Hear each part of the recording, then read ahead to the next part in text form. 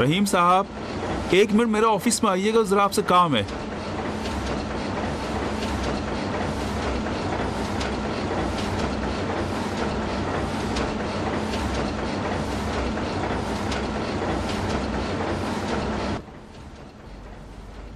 जी साहब। रहीम साहब गुजशत रात फैक्ट्री से सबके जाने के बाद एहसान यहाँ पर रुका था या फरामर्ज जी नासिर साहब आखिरी वर्कर थे जो सबके बाद यहाँ से गए थे। अ, किसी इंसान की इज़्ज़त का सवाल है? मैं आपकी बात को सही समझूं?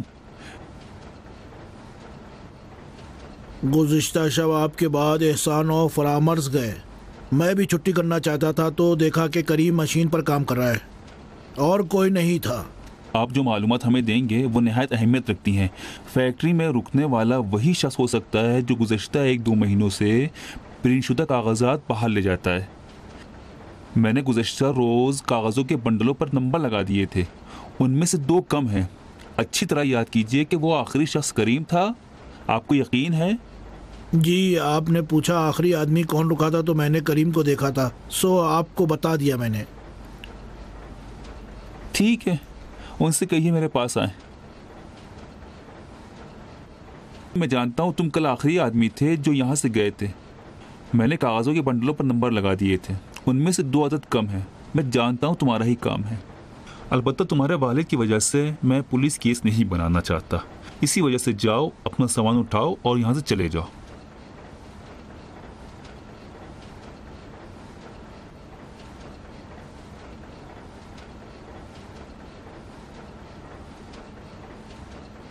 आप नाराज़ ना हो। आपके बेटे के लिए बेहतर है कि आप उसके साथ बात करें और समझे उसकी मुश्किल क्या है।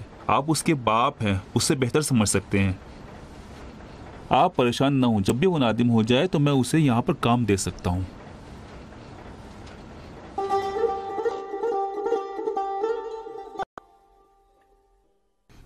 ईमान वालो, हमेशा अदलो इंसाफ से काम लो और खुदा की मर्ज़ी के लिए गवाही दो। अगरचे वो खुद तुम्हारे तुम्हारे माँ बाप और रिश्तेदारों के नुकसान में हो।